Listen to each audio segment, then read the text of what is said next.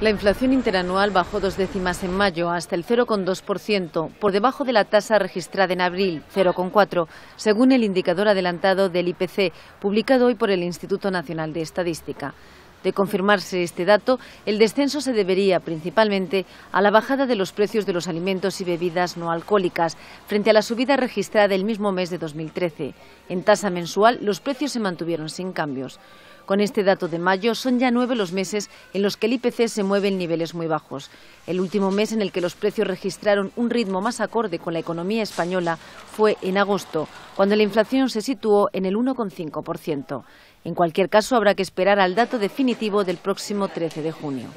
Por su parte, la variación anual del indicador adelantado del IPC armonizado, que mide la evolución de los precios con el mismo método en todos los países de la zona del euro, fue del 0,2%, una décima inferior respecto al mes anterior.